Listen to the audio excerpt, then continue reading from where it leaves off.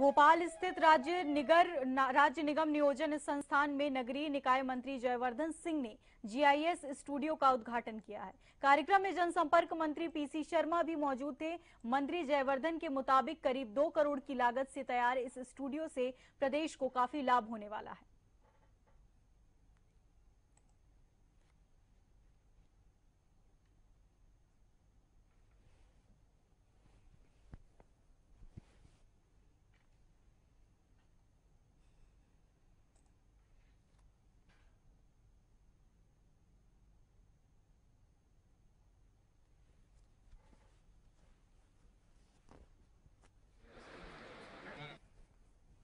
हमने यहाँ पर सिटॉप में जो नया जीआईएस स्टूडियो यहाँ पर स्थापित हुआ है आ, उसका उद्घाटन किया है माननीय हमारे जनसंपर्क मंत्री पीसी शर्मा जी के साथ में।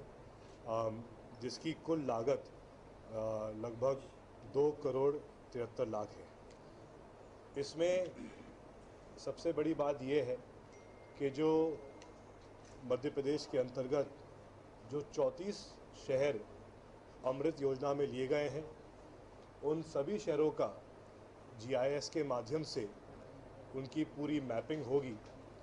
और अगर हम देखें तो इस आ, के माध्यम से जिस प्रकार से टेक्नोलॉजी का उपयोग हो रहा है उससे हमको कंप्यूटर के माध्यम से हर कॉलोनी में और हर वार्ड में कितने पब्लिक टॉयलेट्स है उसकी जानकारी तुरंत मिल जाएगी।